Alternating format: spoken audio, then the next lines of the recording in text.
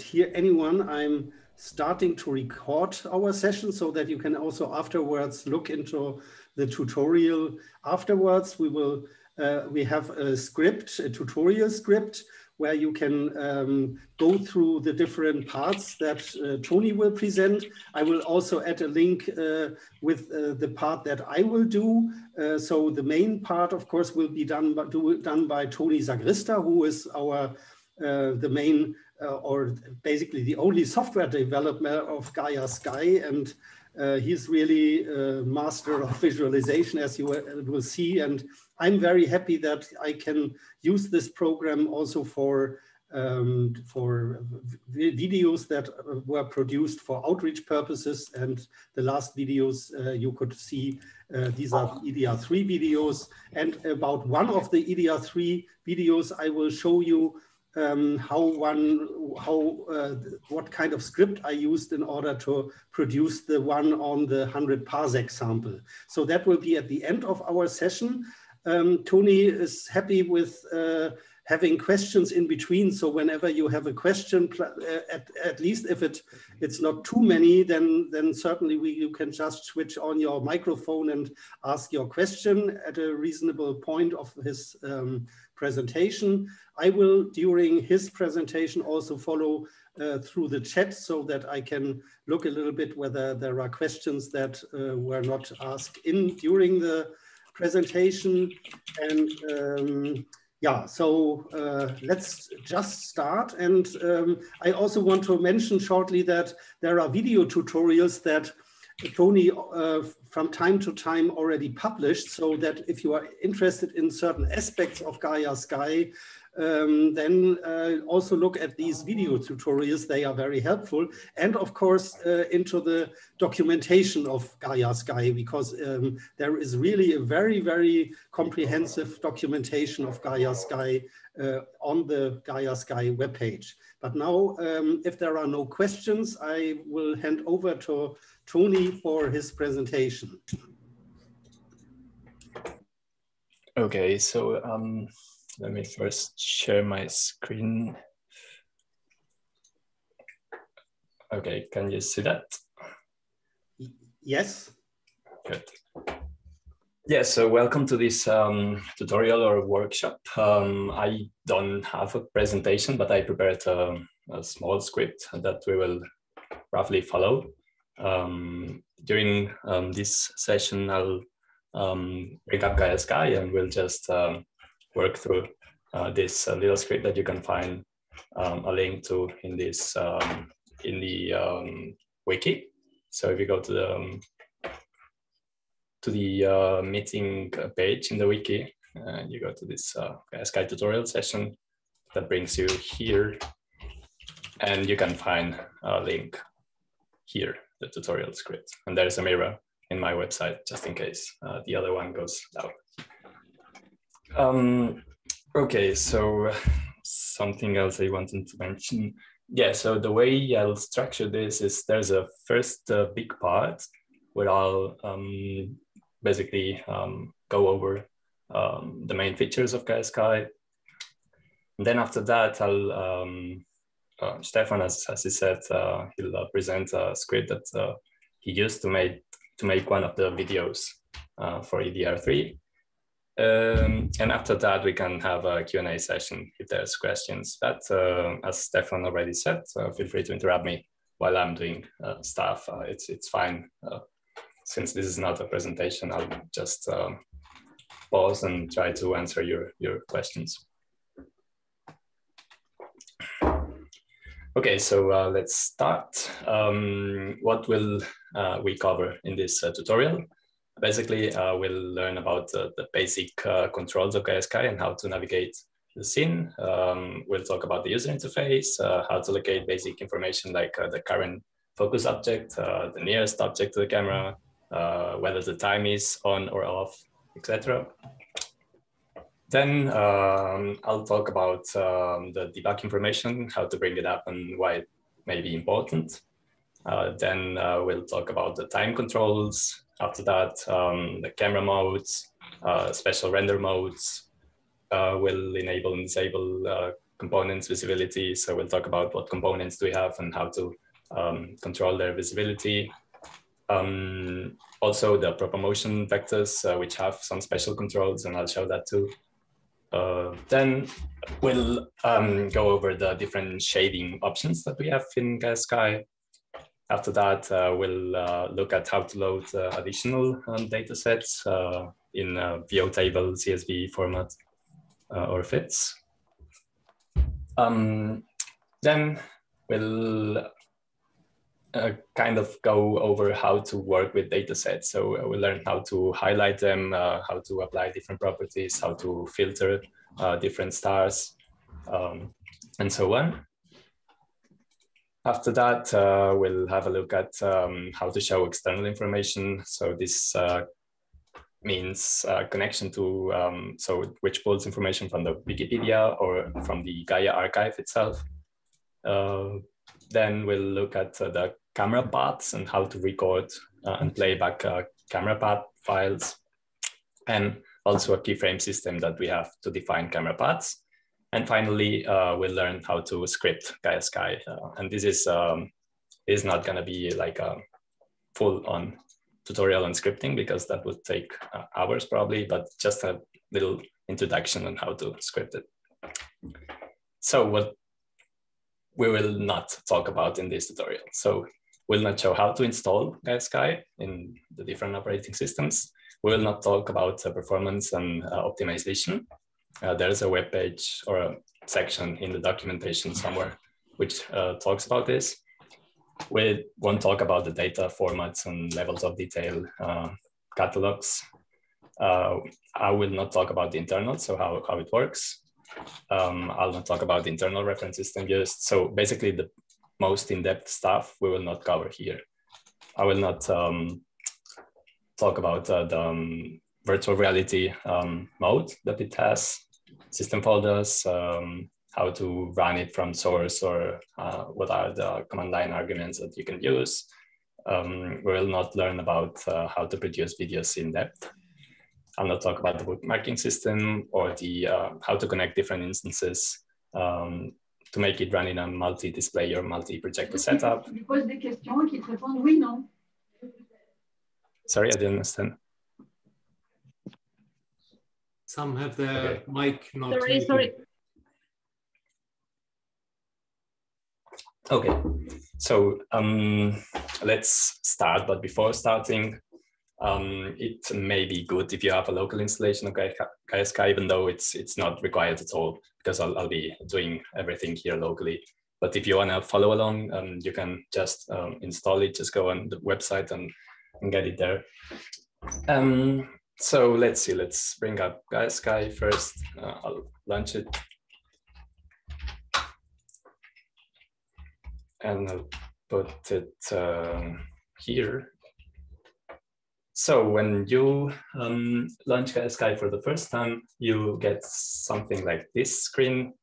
Um, if you click on this button here, the dataset manager, that's actually the only button you can click at the beginning because you don't have any data. So what I'll do now is I'll just change the location of my data here to an empty folder. And now I don't have any data set. So I'll go ahead and get uh, the first uh, required data set, which is the base data pack. This contains solar system uh, objects, basically the sun and the, the earth. So I'll go ahead and download this now. Okay, so now, as you can see, uh, um, says that uh, you only have um, the base data pack. Uh, it lets you start Sky, but it warns you about maybe you should get some other data sets, otherwise uh, the uh, experience will be a bit poor. So uh, what I'll do is I'll switch back to, wait, maybe uh, I should first explain how to um, get new data sets. So if you want to get new data sets, um, you basically um, come here to the um, data download and check uh, whatever data sets you want. Uh, for example, I'm, I'm, I'm getting some feedback. Uh, so some yeah, someone so Toni, has... Toni, is it possible to zoom a little bit more in into the um, Gaia sky screen so that uh, I don't know whether this is possible or make the you the the can you also uh, make the fonts larger in that so that one can yes but uh, um, I need to start Gaia Sky and then go to the preferences. Yes maybe um, you do it uh, I think it's worth it. Uh, you cannot read that? Um, hardly. Okay. Uh, I can uh, read it, but I know a, a little bit more uh, what it is about. okay, so I'll just uh, increase them. Maybe that's enough. And now uh, let's close it and bring it up again. Okay, better? I think it's better, yes. Okay, so um, now I, uh, before I just downloaded the base data pack, if you want to get other uh, data sets, you can get, for example, the high resolution textures uh, that uh, that would get you um, some high uh, and ultra definition textures for some of the planets and moons. Here we have a selection of uh, Gaia star catalogs. Um, these are with levels of detail. Uh, this means that not the whole data set is loaded at once, but uh, you can forget about that. We have, uh, for example, the default and the small and the medium and the, up to the full. And these are different cuts with uh, parallax error as a criteria that you can get. And you can, um, for example, here you can see how many objects each of these has. Uh, the default one has 14 million objects and it weighs about one gigabyte. And the full has 1.4 billion and uh, it weighs about 50 gigabytes. Then we have um, other Gaia, uh, Gaia star catalogs like uh, the GD1 stream or the Gaia catalog of nearby stars that we've seen a presentation of before. Then we also have other star catalogs. For example, here we have the Hipparcos uh, new reduction catalog.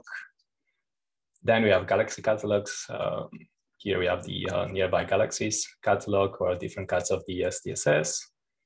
Um, open cluster catalogs, so we have the open cluster DR2 and the Milky Way star cluster. And other catalogs, so uh, nebulae, um, a black hole. And finally, we have a few meshes uh, which were prepared by Kevin Jardine. So I'll just go ahead now and switch back to my old folder because I've got all the data there. And I'll select this, and as you can see, all of these data sets are already in my disk, so I can use them. Okay, um, just a second. And, and one nice thing is that if you have a connection problem during the loading, actually, if you then um, start reloading, then it will continue at the point where the loading stopped. That's a new nice feature. Yeah. So by default, um, when you download new data sets, Sky will select them by default. Uh, by uh, default. Otherwise, you can just go here before starting Gaia Sky and select the data sets that you want to load. Uh, now, for example, I'll just select the default um, EDR3 dataset, and then maybe if you select two or more star catalogs, I think it will complain because usually there's overlaps. So it, it warns you that maybe you should not select two or more Gaia-based star um, catalogs. Um, I'll select, uh, for example, nearby galaxies and um, SDSS DR12 and open clusters and nebulae and maybe the dust maps. And I'll just go ahead and um, start Gaia Sky. So we just need to wait for it to load now.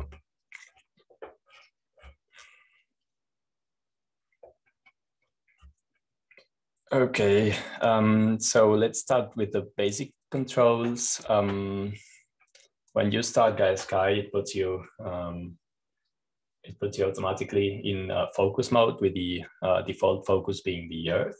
You can change that in the properties file, but uh, yeah, if you want to do that, uh, just um, go ahead and look it up in the docs because it's you need to edit the file.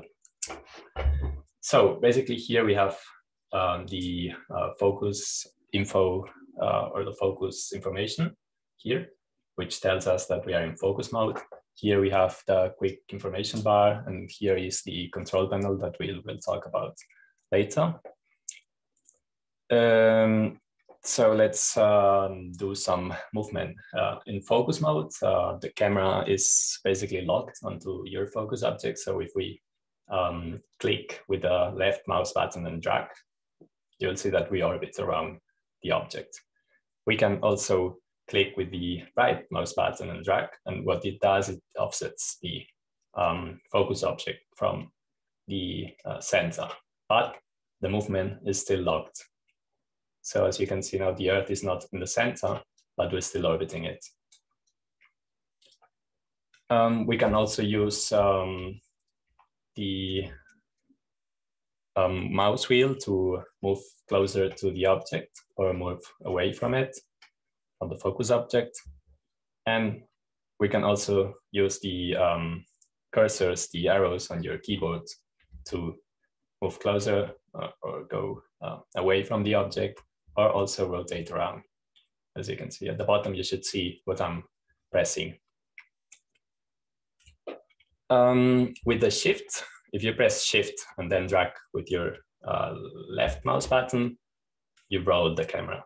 So this is the roll um, control. And I think that should cover the basic uh, movements. So let's go through uh, how to select objects.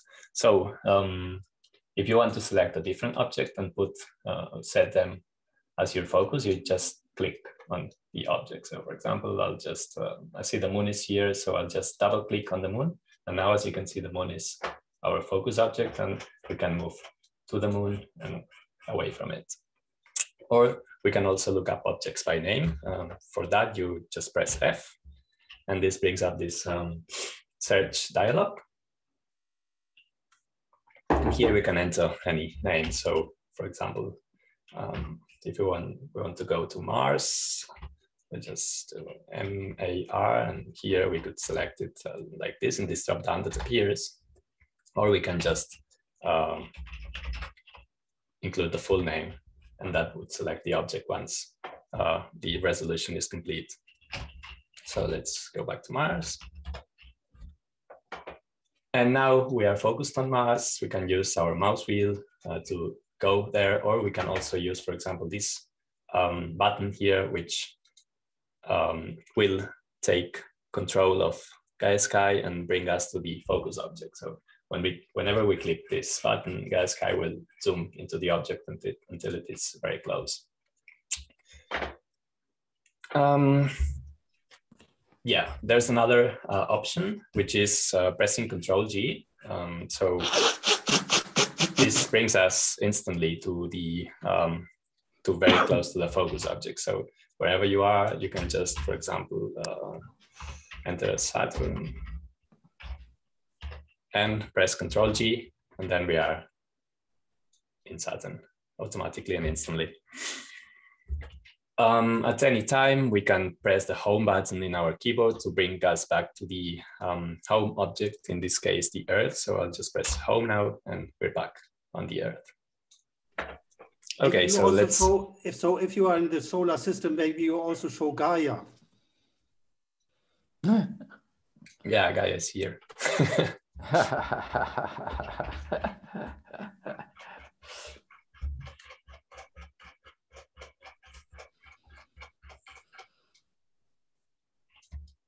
oh, joli. Here's Gaia. Maybe we'll make it move later. So let's go back to home object and let's look at the user interface. Um, I'll try to do you see that window? No, okay. Um, wait, uh, I'll try to maybe set this one like this. Okay, um, so there's uh, basically three components or main components in the user interface. Uh, the most important being uh, the um, control panel, um, which is this window here. Then we have the quick information bar at the top. And at the, uh, to the right, we have the focus information pane. so we can open the um, control panel with U and close again, close it again with U, or we can click on the title bar.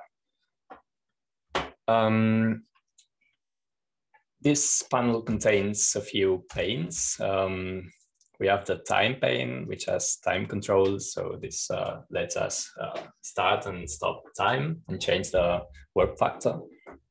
Then we have the camera pane, which uh, lets us um, select the camera mode, uh, limit the speed, and set uh, rotation speed, uh, turn speed, change the field of view of the camera, um, change the behavior. For example, we have here the uh, cinematic behavior, which um, it keeps moving uh, if you don't do anything. So basically, with a um, regular mode, the camera stops as as uh, as soon as you stop moving it. With the cinematic mode, the camera just keeps moving. So for example, now I just applied a rotation here and it, it just keeps rotating on.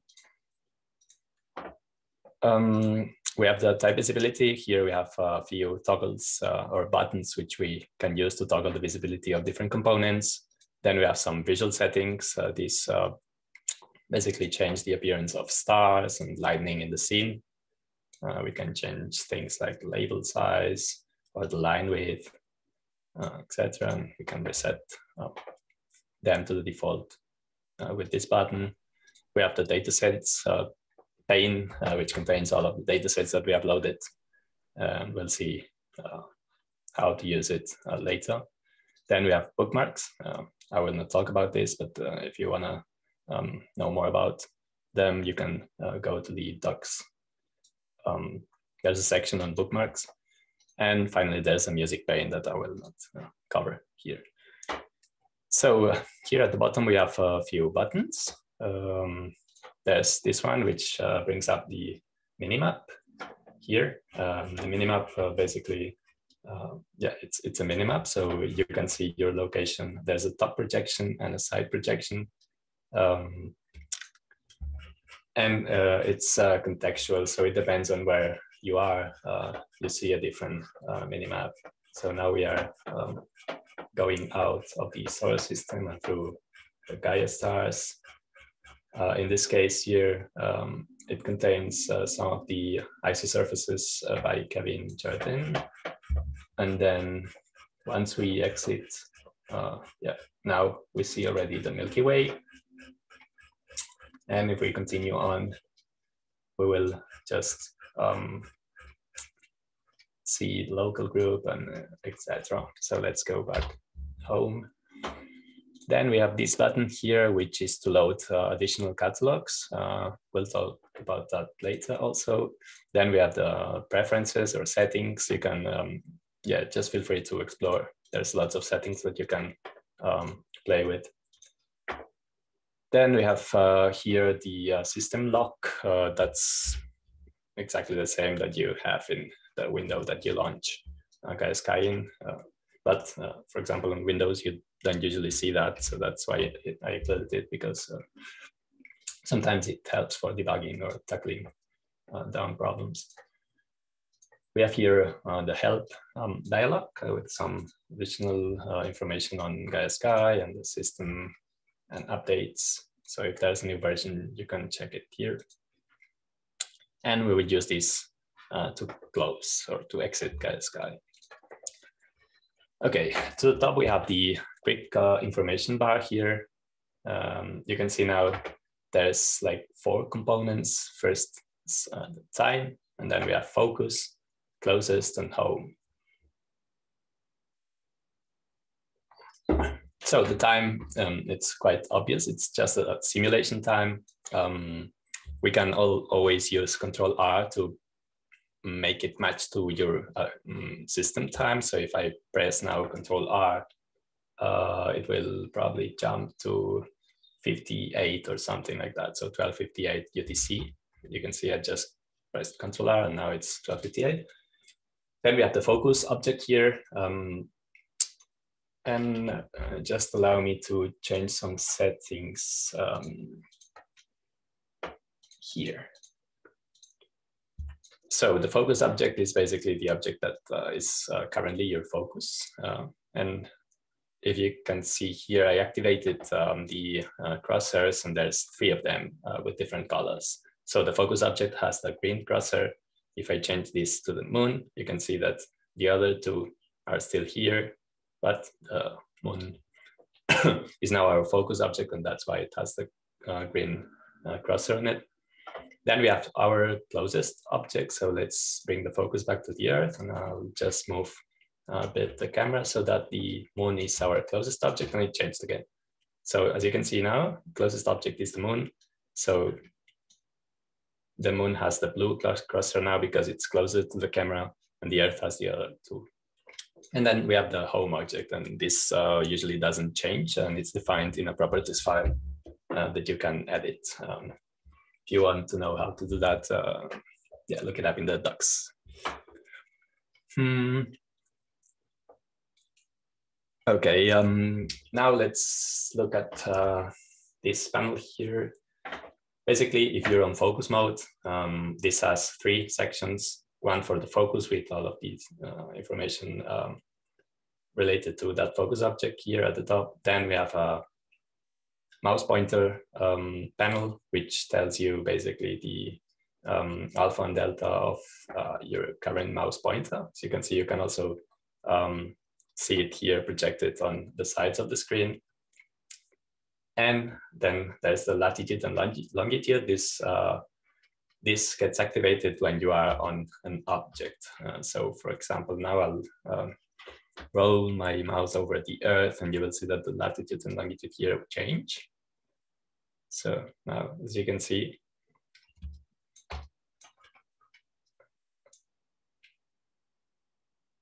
you can use that to position your um, mouse pointer to wherever you want. And maybe um, I just uh, pressed my left mouse button and this brings up this, this uh, context menu and you can land on this position, um, for example, and you can use uh, this information here to guide your clicking. Um, what else? Uh, finally, we have the camera uh, pen, which uh, contains the velocity of the camera and uh, its position. So when the camera is not moving, velocity is zero. As soon as I move the camera, you see that the velocity um, gets activated and also the position, well, it, it, just changes the position in the internal reference system, which is an equatorial Cartesian system. Okay, um, now let's look at the uh, debug uh, panel. Um, we offer some additional information in the form of a debug panel that you can activate uh, by clicking here on the preferences or hitting P. So I just hit P. Uh, that brings up the preferences um, uh, screen. And we go to system. And here we have a checkbox which reads show debug information. And we'll activate that. And we see that the debug uh, information panel um, is here. So we can, um, by default, it uh, just shows the uh, frames per second and the frame time here. So frames per second in green and the frame time uh, in white, but we can open it so that we get more information with uh, this little plus sign. And here we get um, some additional um, info on our graphics device or the time uh, the session time. So I've been at it for almost 20 minutes now. Then we have information about the memory, so the used uh, and free memory and also the allocated and the total memory allowed. This is the system memory. Then some uh, additional numbers for the uh, graphics memory. And then we have uh, here uh, the amount of objects that are loaded into the main memory and the ones which are on display. So basically this number here is the number of objects which are on in the RAM, so in the system memory, and here is the number of objects which are also in uh, the graphics memory, VRAM.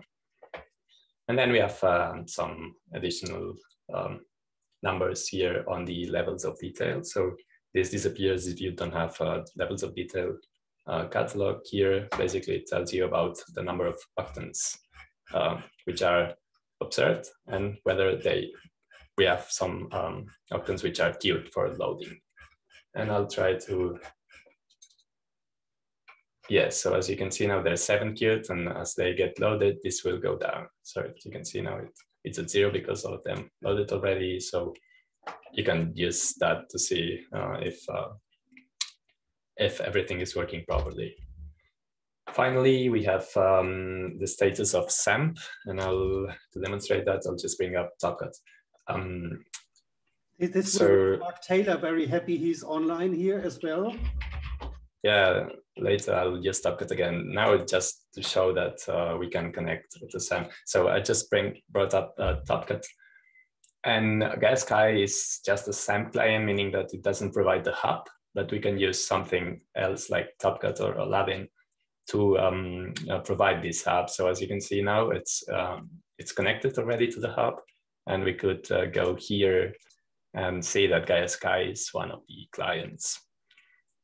And we'll um, revisit that later. And we can just close this debug, um, the debug panel, and to make it disappear, we can also uh, press Control D.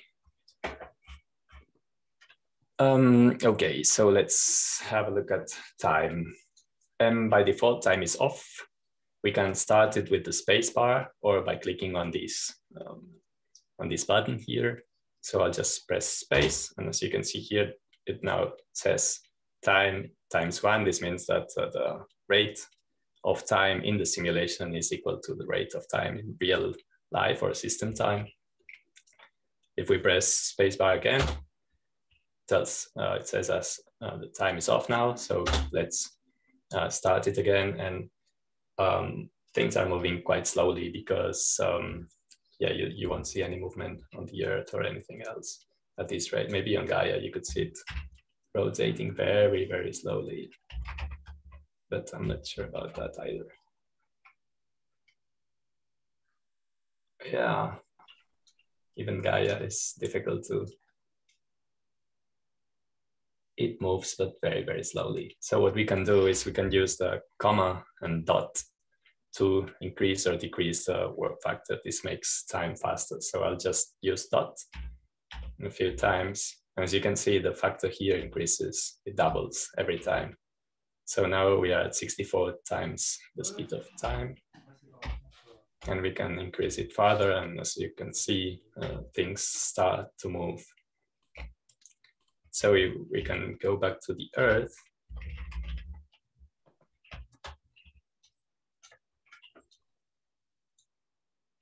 And maybe increase it a bit further.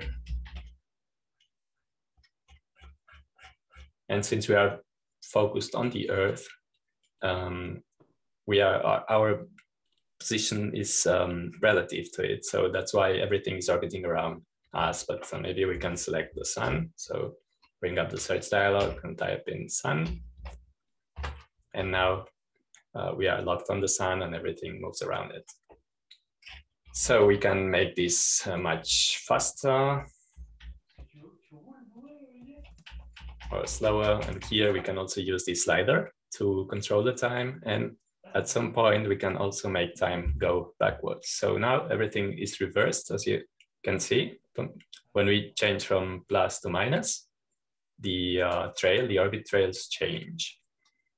And we can go back. So now we are at uh, 2025. Let's go back a bit.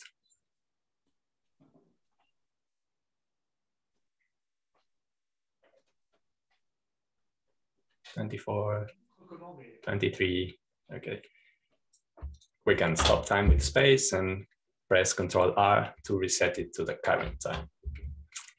So now this puts us at the um, initial position. Um, what else? Yeah, we can make, um, so let's focus on the sun and go out a bit and we'll see that we can make time much, much faster so that we see some movements on the stars. I'll start time and I'll increase it. I'll increase the um, warp factor a lot. And at some point we will start seeing the stars move.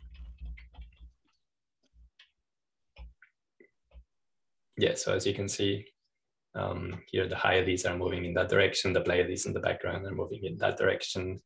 Um, Orion is um, slowly getting uh, disbanded and there's lots of stars moving all over the place. So let's go back to the current time and back to the Earth. Okay, um, that should pretty much cover the time. Well, I should mention that here you can edit the time. So here you can set whatever date uh, you want or use uh, these uh, just like we did with uh, control R. Uh, this sets the time to the current time and then click OK to apply. Okay, so let's look at the camera modes. Um, there's a few camera modes in Gaia Sky. Um, there's a focus mode that we've used so far. Uh, it's the only one that we have used. Um, then we have a free mode. Basically, in this mode, we are not locked to any object. We can use um, the mouse wheel to move uh, forward and backwards without being locked to any object. Uh, we can use the um, left mouse button to change our view.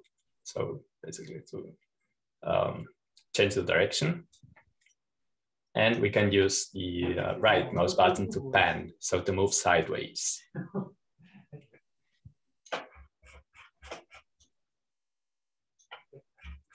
Um, this mode is uh, interesting if you want to kind of roam freely. And for example, if you are if you have um, game pad or um, yeah game controller um, where you have two sticks, uh, you can move around with the free mode uh, easier than you could with the focus mode. Then we have a game mode. Um, when you change modes, uh, sometimes uh, this uh, little information window comes up. Here it tells you about the controls for this mode. I'll just remove this. And now um, I'm just moving the mouse, which is uh, which is locked to the direction of the camera. And then I would use W, A, S, and D to move around. And this allows us to create much more organic movements.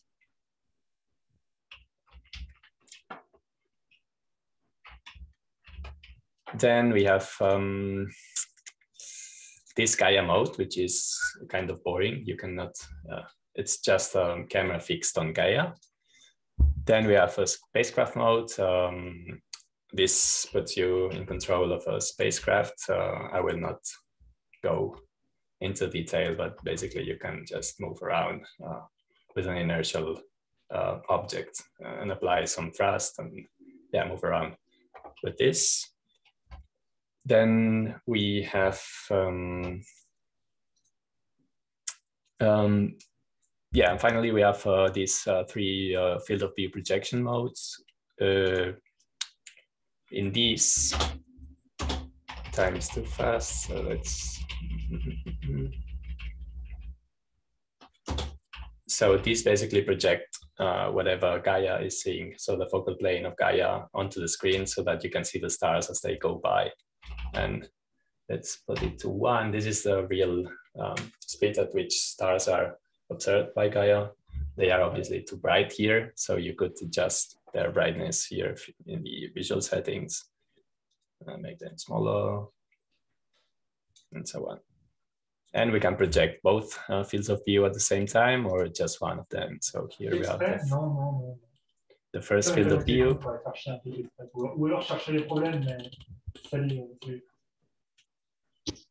And the second field of view. Okay. Um, yes, now let's have a look at the special render modes. We provide three, um, these being uh, stereoscopic mode for 3D mode, um, the planetarium mode, and the panorama or 360 degree mode. So you can activate them by clicking on these buttons. Um, stereoscopic mode uh, provides several profiles. So I just activated it now. And here it tells you um, go back to normal mode with control S. So if I hit control S, I'm back in normal mode. I hit control S again, I'm in the stereoscopic mode. And we can change the profile with control shift S. And that's what I'll try now. So uh, I'm hitting control shift S now And that puts us in a parallel view profile. Then again, this is a, an anaglyphic um, 3D mode that uh, you would um, see with this kind of glasses, the red cyan glasses. Uh, this is a VR mode uh, for the VR headsets which have a desktop um, kind of rendering scheme. And we have two 3D TV modes. This is a horizontal one and then the vertical one. And this is cross-eye. So let's go back to normal mode like this. And let's have a look at the uh, planetarium mode.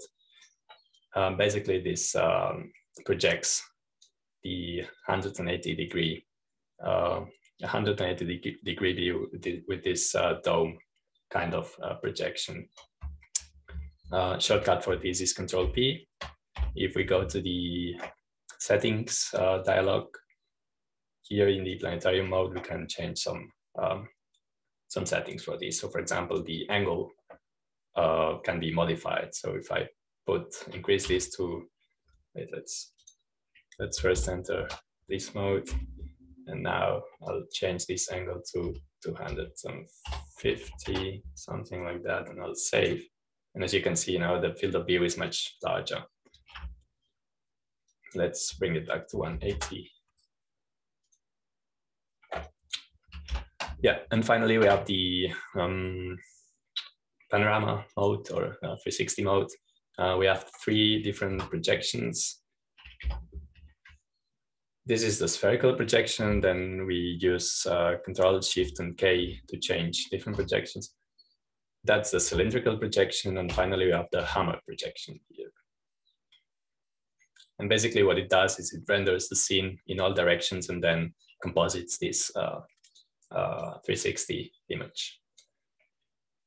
Uh, we can activate and deactivate it with Control K. So Control K to enter it and exit it. Okay, um, let's look at the um, components. So here we have these all of these components that we can uh, toggle on and off. Um, first is the stars. So now I just toggle them off and we have no stars anymore. Then on. Then we have planets. Uh, when I click on this, I will lose the focus because um, the Earth is a planet and it will just disappear. So I'll just click on these. And as you can see now, I'm on free mode because we have no Earth. And I'll click on it again. The Earth is back, but I need to focus on it again. Also moons, um, satellites like, uh, or a spacecraft like Gaia. Then we have asteroids and I'll click on this so that we can see the asteroids. We can also make them move. Is time on? No, okay, now let's focus on the sun. And as you can see, there's like 14,000 something asteroids moving around. Uh, we can remove the orbits by clicking here so that we can we only see the objects. Let's remove the asteroids. We have also um, star clusters. Right now we have uh, the uh, Gaia DR2 star open clusters catalog uh, in the background. We could uh, so each of these objects is also selectable. For example, this cluster, we can just uh, click on each of them and uh, move closer to inspect. Then stop time. Then we have uh, Milky Way here. So if I click on this, the background goes away, but not only the background, but also the Milky Way model. So I'll just move away and I'll click on this so that the model appears. Oops. Let me focus on the Earth. Okay.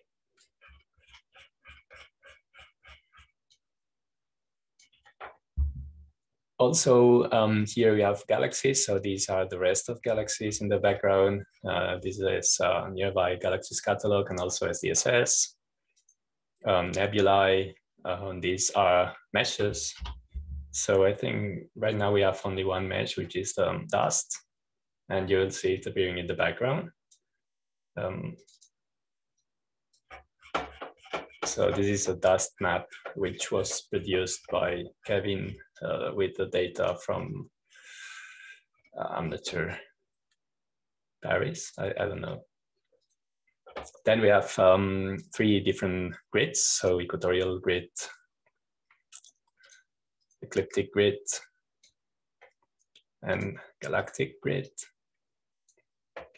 And we also have um, new object, which is the recursive grid, and this provides some good context whenever you're moving. As you can see, um, it's annotated with distances, and it just uh, it's just recursive as you move uh, in and out. So let's go to the Earth by default.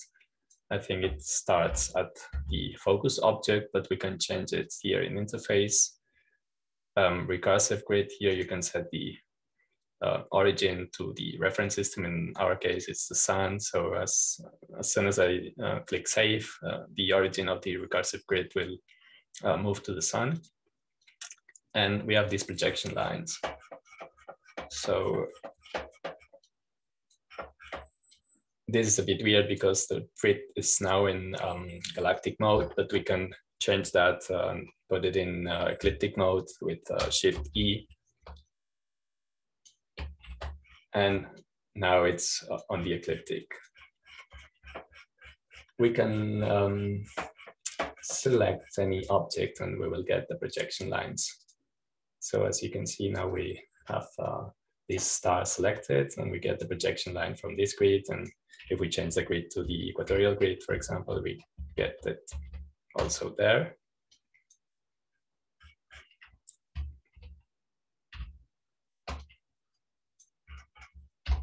Um, the orbits uh, with the labels, so we, we can also toggle labels on and off. These are just the annotations with the names. Uh, the orbits we've seen already. Uh, these uh, are locations, for example, on the Earth. Um, there's some annotations depending on the distance. So we have some cities and um, oceans, etc. We also have country lines. Constellations here and constellation uh, boundaries. Let me just toggle off this um, the ruler, I will not uh, use this, the particle effects um, out of the scope also. Uh, then atmospheres, as you can see, we can toggle them off. Also the clouds, so to have a clean earth. This is the axis, so this should uh, put uh, some axis whenever some of the grids are active. So right now we have the axis here on the sun maybe we move out so that we can see them better.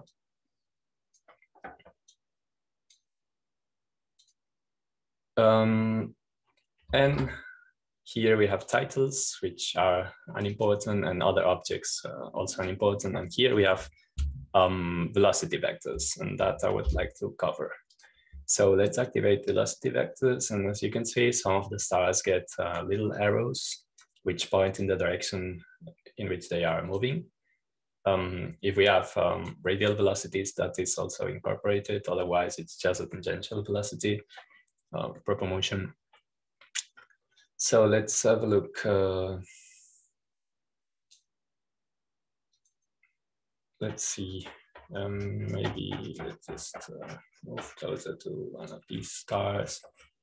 Um, we have here the number factor, which uh, increases the amount of stars that get uh, narrow. This is uh, to control the cluttering and a length factor, which basically scales the length of these arrows. Um, we also can choose whether to show the arrowheads or not. And here we can um, set the color to different uh, mappings. So for example, by, by default, uh, we use the direction, but we can also use the speed or uh, whether it has radial velocity or not.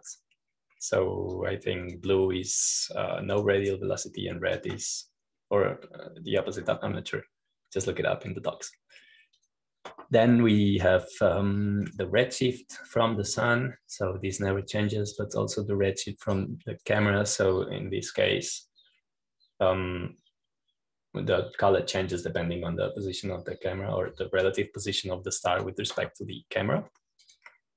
And a solid color, uh, which is just this blue. Okay, so now let's, um, how much time do I have left? Okay, about 15 minutes. Hmm. Yeah, let's go over the visual settings quickly. So here we can, um, let's go back. Here we can uh, use this toggle to increase or decrease the brightness of the stars. Um, we can use this brightness, brightness power to um, basically the stars which are bright, it makes them bright and the stars without, which are faint, it makes them fainter. So if you put this all the, all the way to the left, more or less all of the stars have the same uh, visual appearance. If you move it all the way to the right, uh, you can see the bright stars very clearly. This is the star size here. Um, it affects all of the stars uh, in the same way. Uh, minimum star opacity, this is uh, not important. Uh, then we have the ambient light. This affect, affect um, affects only the model objects like the Earth. So here and the, the moon or the dark side, we can um, increase the ambient light so that it gets illuminated. Then we can select or set the line width with this slider and the label size with this one. And elevation also uh, not important.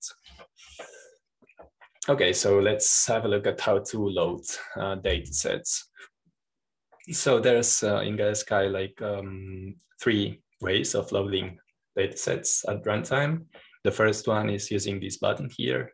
And uh, let me first remove the star dataset uh, EDR3 default. To remove it, uh, just click on this bin icon here on the uh, EDR3 default. We'll see about that later. So um, I just clicked on it and now we have no star dataset. So let's try to load in uh, Hipparcos. Uh, I've got this VOTable here. Uh, I click on load and here we have three options, um, whether we want to load it as stars with proper motions and positions and magnitudes and colors and whatnot, or only particles. Uh, if we select this, only the positions would be used. So all of the stars would have the same brightness and color. Or star clusters, um, this would load them as spheres with a radius. So let's select stars and click OK to load them. As you can see here, we get the um, uh, progress bar, and now Hipparcos is loaded in the background, and it appeared here also. Um, Okay, let's um, have a look at how would we go about uh, loading a new data set using SAMP. And for that, I will remove this uh, data set that we have just loaded and launch um, Topcat. Okay. Uh, let me limit the frame rate in the background otherwise. Mm, let's set it to 60. Okay. So um, I'll just go ahead and try to get Hipparcos using TAP. Um, I think Hipparcos is uh, here at the ARI um, Gaia service external catalogs, Hipparcos, and here I'll just get the full table. And let's see, I'll increase this and increase this and run the query, and that should get us uh, the full um, Hipparcos. Yeah, it's here. So what we can do now is, um, I'll just move this out of the way. And I'll send the table to Gaia Sky and you will see that uh, the window to load a new data set pops up. So let's just send it. And as you can see in Gaia Sky, we got the message. Um, so here I'll just go ahead and uh, use the defaults and let it load. So again, the loading uh, progress bar here, and we have Hipparcos again. This time it comes from um, from Topcat. And I think now we could we need to activate something um, so that no.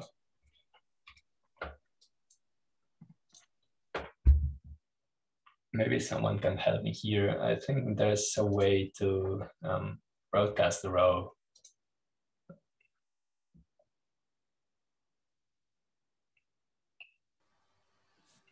Or is it? Mark, can you help? Uh, yeah, Toni. So if you, what you want to do is broadcast a row when you click on it. Then, yes, um, exactly. Um, go to the uh, if you look in the views menu. Uh huh. Activation, maybe. Uh, yeah, activation actions. That's it. Chain row index. That's it, right? Uh, yes. Okay. Yeah. Thanks. So now we can select any row here and the uh, star gets selected also in Gaia Sky and we can also use it the other way around. So click here and as you can see the maybe row gets selected the, in Topcat. Switch on the, of the planets a little bit so that the stars are easier to be seen.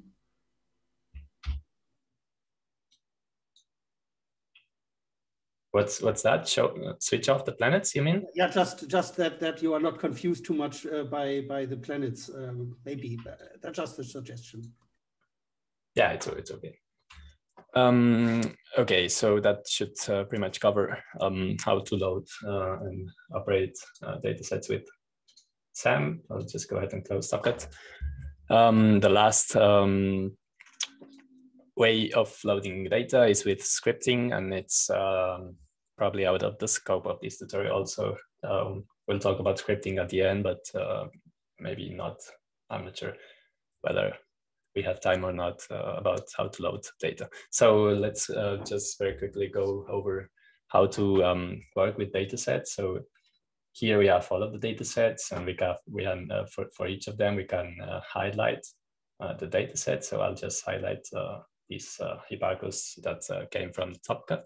And as you can see, all of these, all of the stars are highlighted using this color. We can change the highlight color, um, for example, to this pink. Um, you may have noticed that the brightness of the stars increased a lot when I highlighted them. We can change that. Uh, here, there's a size increase factor when highlighting and a checkbox, which makes all stars visible, even if they are very far away and very faint. So I'll just just, just a, a small um, explanation. The size factor is actually a magnitude offset. Yeah. Yeah, it's not the size in pixels. So now if we, um, as you can see now, only the color changes and um, visual appearance of stars stay the same. So uh, let's just put this at two. Okay, um, what else can we do? Um, we can uh, use a plain color, or we can also map the color to a to a property and with a color map. So uh, I'll use this rainbow color map here, and I'll map uh, one of the properties which um, which is not a basic property. For example, the number of transits here I'll click OK, and then I'll highlight the data set. And as you can see now, if I go to um, panorama mode with Control K, now we have this um, observation. Uh, so the number of transits uh, is uh, mapped to the color of the stars. You can do that with any of the um, with any of the uh, properties.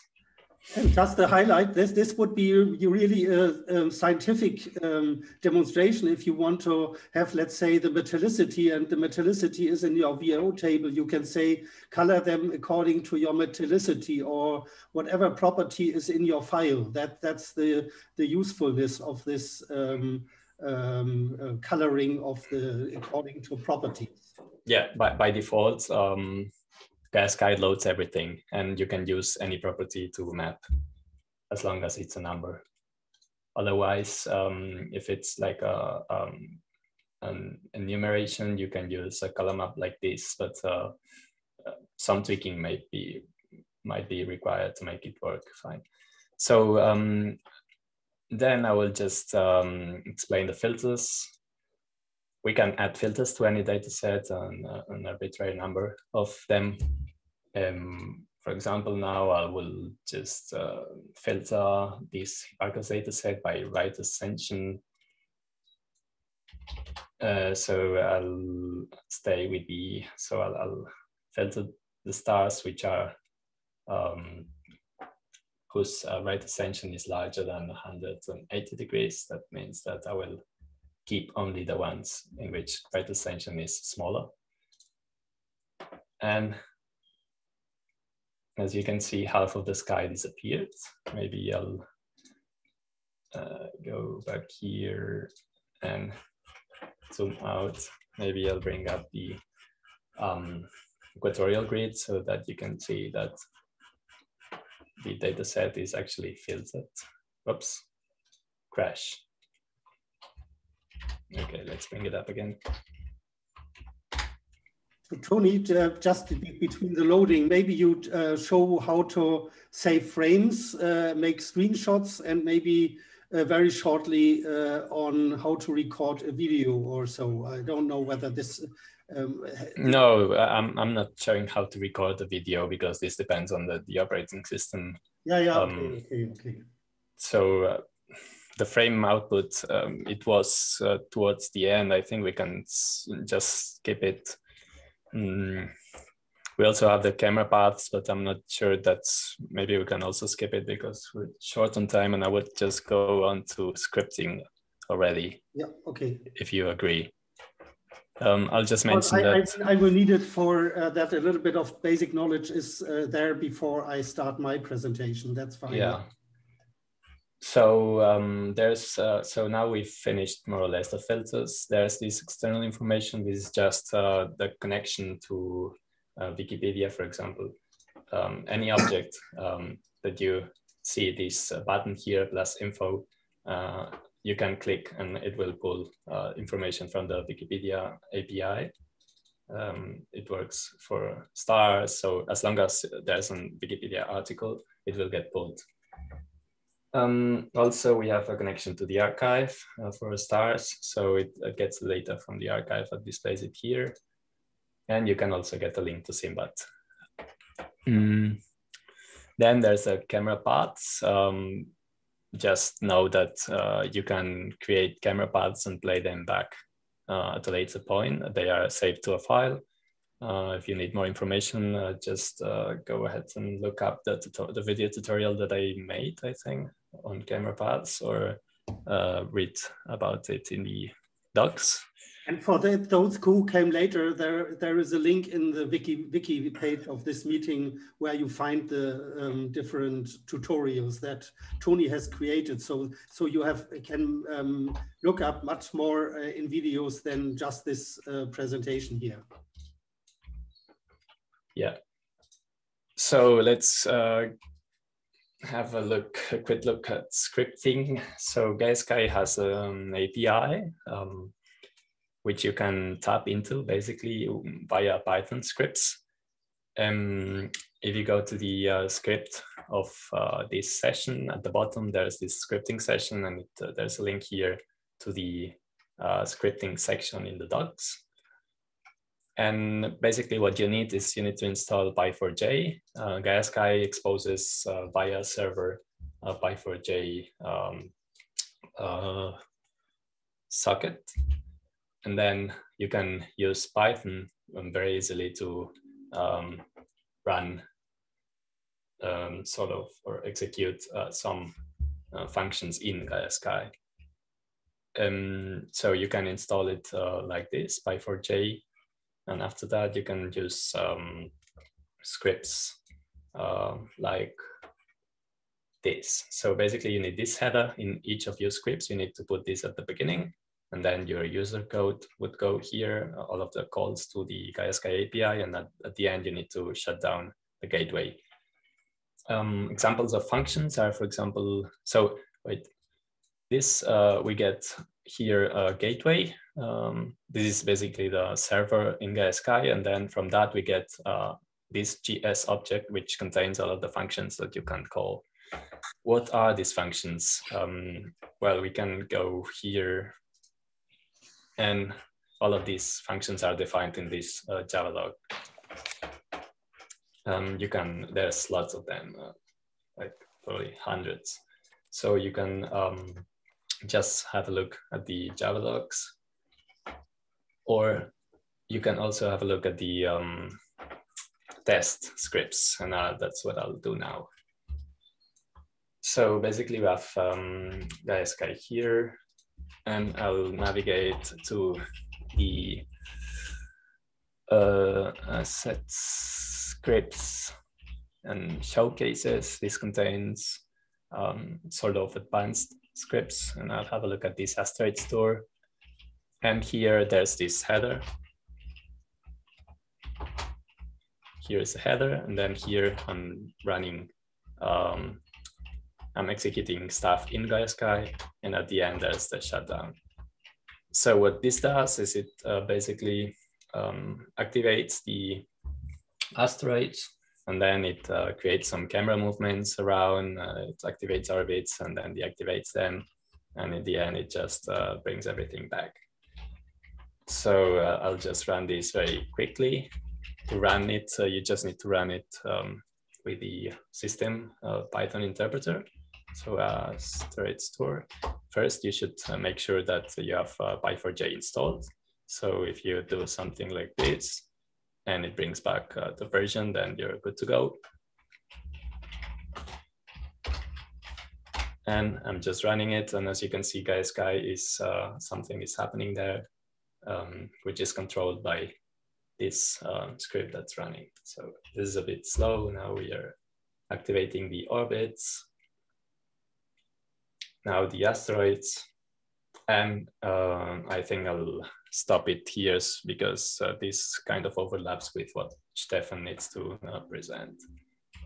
Okay. So I'll stop my sharing and um, it's, I, yeah, Stefan, you can take over. Yes, okay. Um, maybe the, while I am loading that, you are answering two questions. From one by Sergey. The orbit trails of Gaia is in the co-rotating reference frame. The trail of the moon is in the Earth-centered but not non-rotating frame. The trails of planets are shown in the barycentral not rotating reference frame. Can you yeah. say? So what, what is the question? Yeah, Sergey, maybe you, you ask uh, in the meantime when I start my part. Yeah, okay. Yeah, um, I'm just thinking about using Gaia Sky for education. Mm -hmm. And from that point of view, and only from that point of view, this is quite confusing. So you are using uh, different reference frames uh, to, to draw the, the trails depending of which object you are showing. Yes. Yeah. Okay, that's fine. This was just my confusion. It is not um, even a, a, um, Actually, I got initially the the uh, orbit of Gaia, uh, but I had to um, convert it using the latitude of the sun. Right, um, right. No. So uh, you, you can, I mean, it's it's just an, a file with the data. So if you, I, I can prepare it for you so that you have the orbit of Gaia in a different reference frame very easily. And and and is it possible to switch off orbital uh, the trails of um, particular objects? Only all, all of them? Um, yes, but you need to um, edit them out in the uh, data files. So there's some oh, okay. data descriptors and you just comment out a line and then, uh, so okay, there's okay. no oh, graphical um, controls for that yet. Okay, okay, it's fine. Mm -hmm. Very great. Uh, Toni, you're, you're, you're magic it's, it's amazing. Yeah. Thank you. Thanks. Yeah, that, that's that's really something that I fully agree. And my my uh, privilege is that whenever I need a, something for new outreach videos, I can go to Toni and ask, uh, can you please add this and this feature? And that's exactly what what one needs in order to get uh, the videos and things like that done that we have created for EDR3, for instance. So thank you very much, Toni. And now I want to show you a little bit how I created the video for the 100 parsecs uh, um, um, uh, science demonstration or performance demonstration paper. And uh, for that, I have prepared a video on my own, which shows the little bit the steps.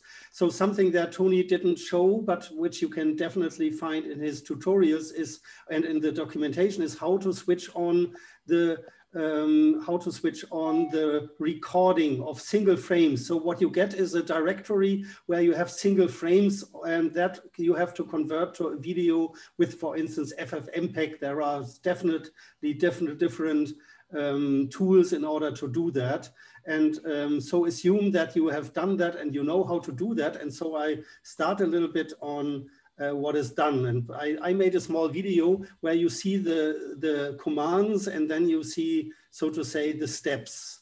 And you have seen with Toni that you have a script. And in this, this case, there is a script which is about th uh, three times this length, which are used for the creation of the 100 parsec video. And of course, at the moment, you don't see anything because uh, we have to zoom in and we will do that in a moment. And then we see also some things that uh, Toni mentioned here. You have the header, this gateway uh, creation, and you are enabling input and doing some, some uh, scripting commands um, and these are all defined in the introduction. Here you set the stellar brightness, the star size, the opacity, the brightness level, contrast level, everything that you want to know, line width, uh, everything that you can control, you can control with such a script. You are uh, turning on how fast the camera should rotate. That's something that you uh, empirically should um, um, uh, change a little bit if you want to have faster or slower speed you are then setting the visibility of uh, planets or moons or Gaia or the constellations, whether you want to see the constellation lines, the, element, the velocity vectors, how um, large they will be uh, is set by that, the labels, whether you want to have them on or off, uh, and so on. And then in the next part of the video, uh, of the script, uh, which which I put, uh, which you can download, by the way, of course, um, is something to make subtitles because you want to have explanation what's happening. And so I have a small um, Gaia's uh, Python routine in which uh, at a given time I have a message on in Gaia Sky, but also creating for that moment uh, something which goes into a subtitle uh, file. And this can be, for instance, loaded into v, uh, VC, uh, um, VLC, the, the player, or you can also upload them into YouTube uh, so that you have subtitles. You can uh, then, uh, so to say, inform people. You can use that or not, and, but I will show you how this is done. And here are some things that you should, for this video, put into the, the configuration in Gaia Sky itself. It's just a reminder uh, you can do that or not. And, and, and, then here is, you are hiding the normal catalog that is loaded. That's the EDR3 extra large catalog that I have by default, and I'm switching that on off at the moment. And then I have a data set path where all my uh, data files are. And here are data sets uh, where I loaded the 100 parsec sample that, that was created by the um, performance demonstration paper group. And here is the file name. And here are some the color by which I want to highlight the data set. And also um, uh, here are the Hyades and the Coma Berenike um, uh, open cluster that I want to um, highlight and binaries I want to highlight. Uh, that's uh, something, and at the, at the beginning, I'm hiding the data sets before everything starts. At this moment, nothing is recorded. Uh, then um, I'm showing the data set of the 100 parsec sample that's used with this, G you are always using this GS plus the command uh, because this GS has been defined in the header of the Python script. And then here I switch on and define the file where the subtitles should go. Uh, you can use that or not. And here I'm defining my frame rate. That's not a command from Gaia Sky, but something that I will define in Gaia Sky. And then here, of course, in principle, one should command out what you are not using. Here you define the resolution of the video, then the video path, where should the video be then uh, saved. And here are you are configuring the, um, the what is uh, how the video is rendered. This is the resolution that I defined there in either 4K or HD or a smaller version. I suggest that if you are um, uh, starting with creating a video, uh, use a low resolution in order to make some tests whether it runs in principle, and then you are uh, increasing the um, the um, resolution because it takes some time. It's not in real time. If you have 4K videos, it will be much slower than the real time um, video uh, frame rate. Here's the frame rate, here's the video path and the file, the directory where the, um, the result should go to. And here is how the different uh, single frames are named. They, they have this 100 parsec sample name, underscore, and then if, uh, five digits for the numbering, the zeros video until the last video is shown. And then um, here you define the simulation time, at what time in, in uh, the, the, video should start. And here you see it's uh, um, um, one o'clock in the afternoon on the uh, 3rd of uh, December, so the opening of the Gaia uh, video. And um, then you are, I'm defining that I want to start with a view to the Earth and then to the sun. Uh, I'm going to the sun uh, and going, having the sun with a 20 degree um, size uh, on the screen. That's, that's what I want to start with. And here, I, this means always uh, you sleep for five seconds in that case. Uh, there is another sleep where you can omit the frames, but, but uh, I have used that uh, at that time. And then you set on the cinematic view to have the smooth behavior of the video. And then you reset the image sequence number that it's really starting with zero. Uh, and then you uh, define a start frame that's only for the uh, subtitle file so that it knows at what uh, frame uh, corresponds to what uh, time which is used in the subtitle file. And then you set the focus to the sun and then you uh, then the output is started. And now I show you in the rest of the video, the video itself and the commands which are done at certain steps of the video. So in a moment you will we will uh, go to the um, what is so to say produced while I also show you the commands. So I will stop here. This is the starting point. We are now at the sun, very close to the sun. And this is by uh, having the camera focus on the sun, which, which you put in quotes here. And then you uh, put on the frame rate, uh, frame output. I, we have seen that already on the slide before, and we want to sleep for three seconds so that after the frame output starts, we want to stay on this picture for three seconds. That's what this command does. And now it continues and stop. I stop here, and now I write the subtitle. This is my um, my subtitle a routine which is called and you need to you put in here a string. We start our tour of the sun uh, at the solar neighbor at the sun. So i'm abbreviating that sometimes so that it fits on the screen and then i wait for five seconds. So you uh, can look at this uh, subtitle for five seconds before anything else uh, is uh, going. And so we are continuing. And now i stop and uh, here, uh, here now we get another string. Now we move from the, our sun seeing uh, the planets and so on going uh, away.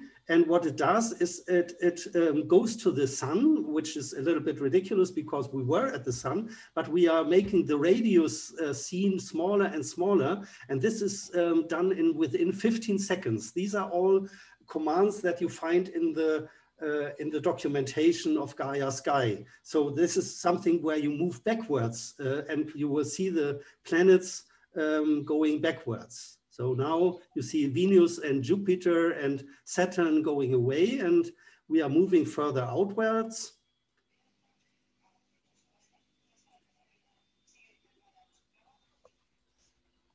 And after 10 seconds, by the way, the, the um, the um, subtitles are switched off. So we are going further and further outwards, outwards until we see the 100 parsec sample from outside. And, now we are waiting for two seconds again. We are doing a sleep command. Um, so this um, hashtag, by the way, means the, the um, waiting, sorry for the typo here. Uh, these are only um, um, comments on what, what is happening there. This is the real command for two seconds. And now we are at this distance and now we, the following happens, we switch on, we define a variable uh, called speed. Uh, it could be, I have set that to 0.1 and then there is a command camera rotate where you put in this variable speed and uh, this defines the, the, the, direction of the rotation and uh, the speed is 0.1 and now the camera rotates around the sun because this is still in focus. And now the camera starts to rotate and we will uh, also switch off the labels. There are no labels shown at the moment and then you rewrite to the um, to the uh, subtitle file this uh, string that you see down here. And now you see that the stars are rotating around the sun. And so you see now from outside the 100 parsec sample. And now I stop again. We write again a string to the subtitle file, which is seen here. And within 30 seconds, we are now getting closer to the sun again. We are using another, so to say, radius of the sun, and we are doing this within 30 seconds. So we are moving inside. and we are stopping. Uh, it's, uh, and uh, we have now five, uh, we are waiting for another five seconds and uh, we are uh, continuing to, um, to um, move and the subtitle is still on. And now we have another subtitle besides the position and so on, and that is shown for two seconds. And now you switch on the, um, the, the, the arrows showing the velocity vectors of the stars. I omit um, the radial velocities because we don't have the radial velocities for all stars. So in fact, these are actually proper motion vectors. And here is the number defined and also the color mode. This is this is, means that they are just um, in, in, uh, in blue color as Toni has shown. And this uh, command makes the switches on the arrows. It's, it sets the visibility to true in this case. And then we wait for eight seconds. Um, and now we see the, while we are still rotating, we're seeing the um, velocity vectors of the uh, star. Now we um, uh, switch on the, this command, which so that it explains the velocities of the stars are indicated by the vectors and we are sleeping, we are uh, waiting for nine seconds um, because the, um, the, the string is seen for eight seconds. So we always make the waiting time a little bit larger than the other. And then we are uh, sleeping again after we are switching then the, the velocity vectors off. So after some uh, nine seconds, the velocity vectors will be switched off, as you will see in a moment.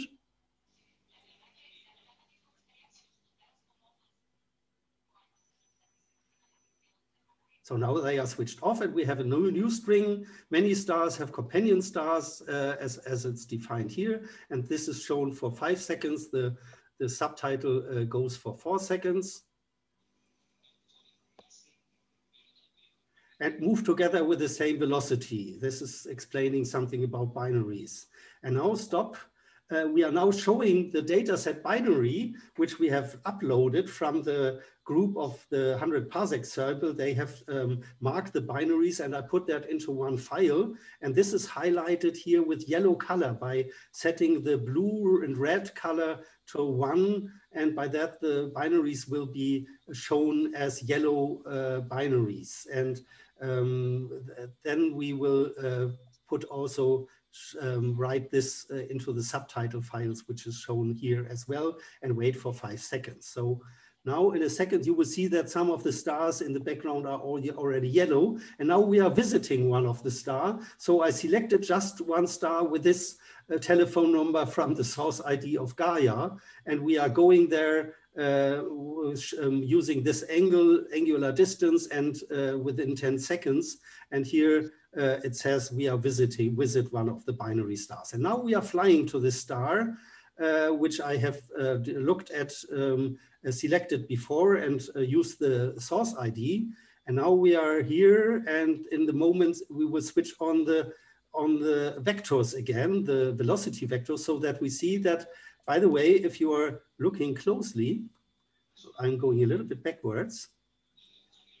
And we are now going for the, sorry, it was a little bit more backward.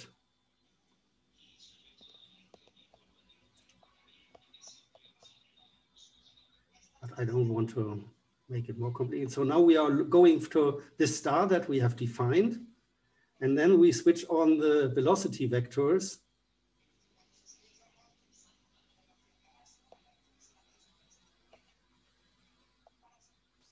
And you see there is one star in the background which uh, has the same velocity. Maybe it's not an accident uh, because it's very close to these, to these pairs. We, we are going to another one which we also defined here. And we are always rotating further around these stars because they are focused, they are in focus mode and we are in cinematic mode so that it continues until you are, and then we are going to the star cluster Hyades where we have selected one star of the Hyades and we are moving around that and we are having another subtitle and then we are highlighting the data set um, also in yet yellow color in this case. And we are rotating around that, switching on the velocity vectors and waiting for a moment and uh, telling something to explain the public what we are uh, talking about, why the stars have the same velocity, uh, spatial velocity. And then we are also going to the second cluster within the 100 parsec sample, the Coma Berenike cluster, where we also go to one star and rotate around it. And then we uh, here you see it's the small arrows, they, the other stars in the vicinity usually have larger arrows. And then now we move outwards of the whole 100 parsec sample. Um, we color all the stars of the 100 parsec sample in yellow and move away from that. But uh, basically we are moving away from the sun again. And uh, that's the trick. And then we see the, how small the this is uh, compared to the Milky Way. We, we switched on the Milky Way by setting the Milky Way offset um, on. And now I do something which is a little bit more complicated. I have before looked at what position I wanted to see to the Milky Way and um, saved the position, the um, orient, the direction of the camera and the upward direction in this array and uh, made a camera transition, which is a, then a linear transition from one camera position to the other. And that's what I did at the, at the end because I wanted to have a specific look at the camera. And now we see that. And if you are looking carefully, you see here the still the yellow dot there. So we know where the 100 parsec sample basically is. And that uh, is, was my short presentation. I know it's much too fast probably to know everything about that, but uh, notice everything about that. But um, maybe we should have something like uh, such a tutorial again so that you are you could more follow. But this should give you some insight of what is actually possible with Gaia Sky. And um, yeah, if you now have some questions to either uh, Toni or me, uh, you can still ask some question in a quarter of an hour. We should definitely be um, um, sh we should leave because then the next uh, um, splinter meeting will start. So are there any questions to Toni or to me? Just go ahead.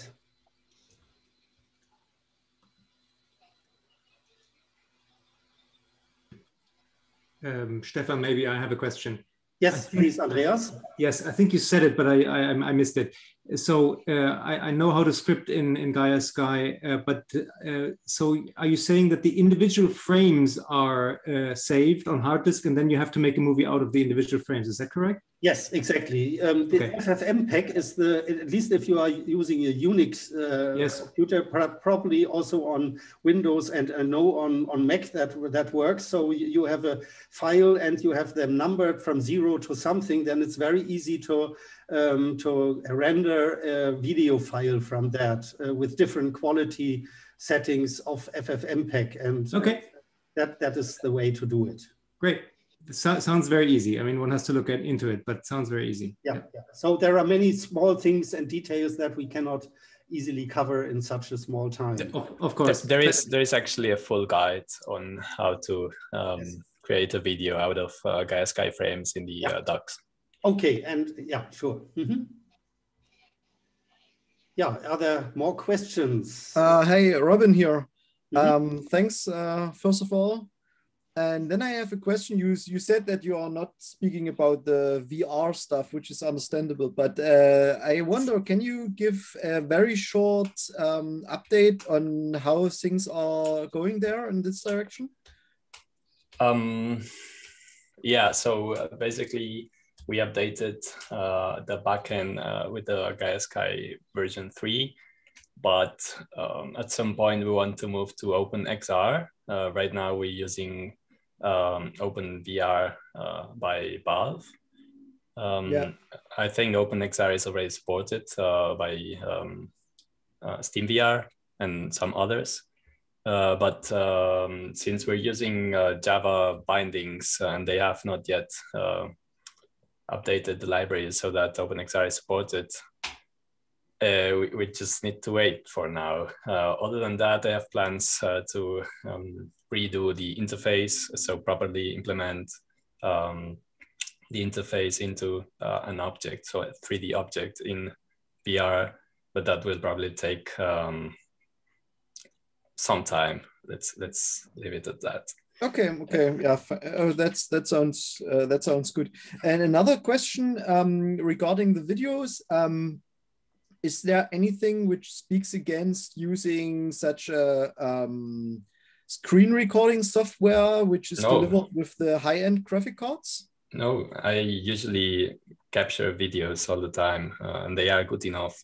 Um, okay. But if you want to have like uh, to do it in a very methodically way or methodical way, then you're probably better off using frames um, yeah, okay. with a very high resolution. Yeah. Otherwise, you can just record the screen. I, I do it all the time okay. Uh, with with OBS, and yeah, quality is good. Oh, even with OBS, it works.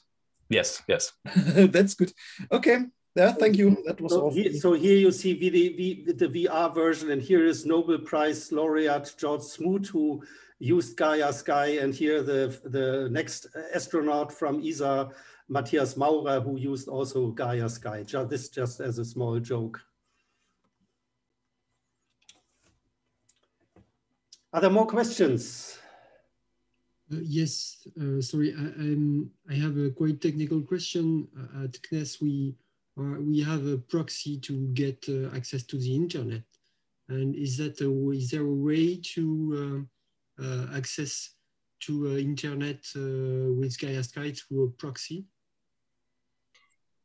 Um, no, not built into Gaia Sky, but you should somehow be able to set it up in the operating system so that it's transparent to the applications.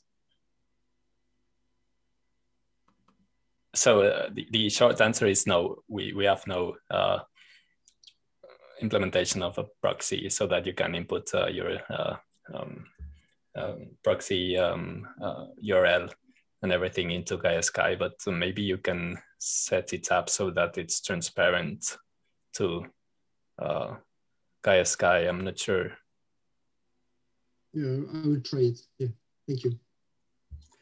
Let me just shortly, because I didn't mention that in the in our wiki, I have now a link to my NAS where um, um, where you can download also the video that I have shown as a as a um, presentation, and also there are the data files one thing that you should notice, some sometimes there are small changes in Gaia Sky, so I cannot give a guarantee that the script that I have shown runs with every uh, future or Gaia Sky version, because that was a script that I made just before EDR3 and um, there are sometimes smaller changes, but you will notice that and you certainly can easily correct that.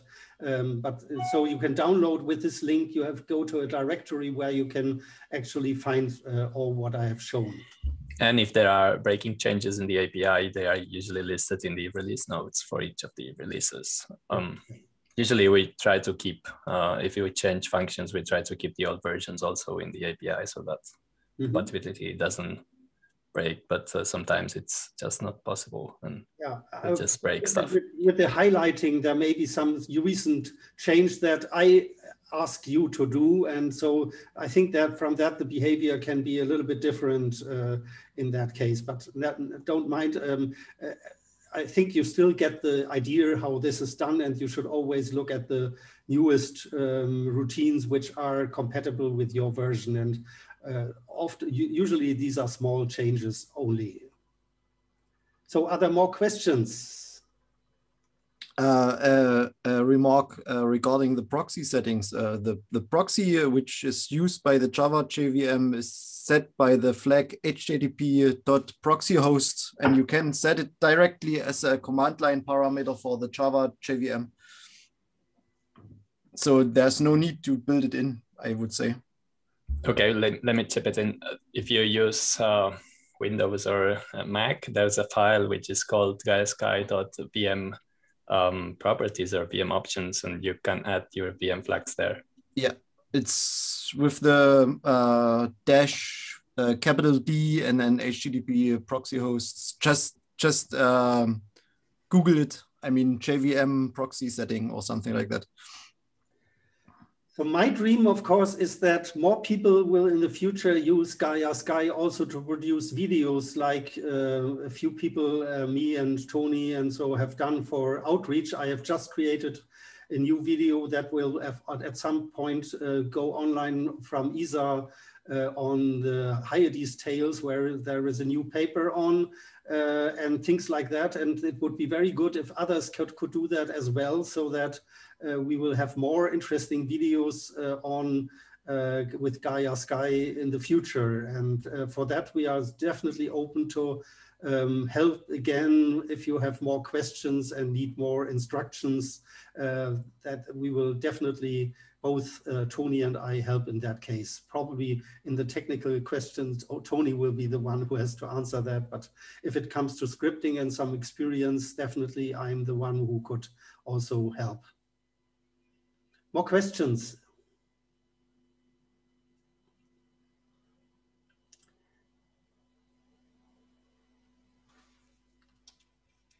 Um, I was asked to post the link to your my example script. Yes, I, I, I will post the the uh, script for the uh, for my NAS where you can um, download that. Uh, so in a second, this should work. So it doesn't work between one o'clock and eight o'clock in the morning because I switch off my NAS uh, in the night.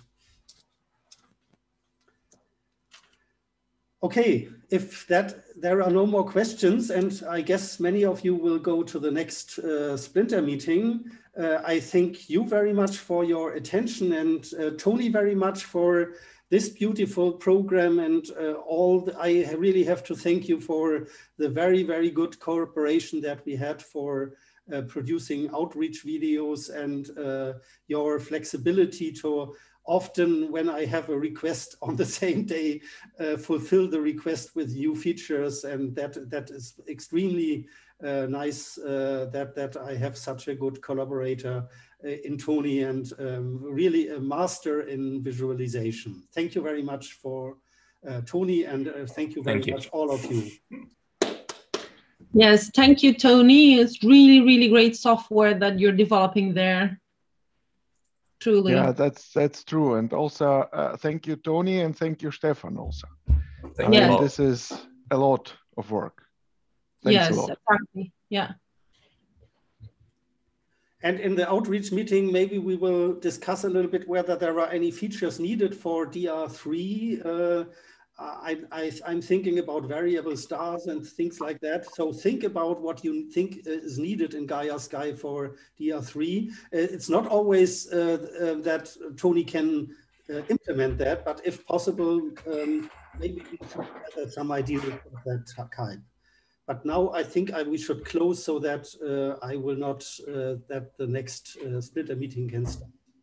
Okay, thank you very much and uh, see you some of you at the um, Splinter meeting for outreach tomorrow. And uh, thank you very much. Bye-bye.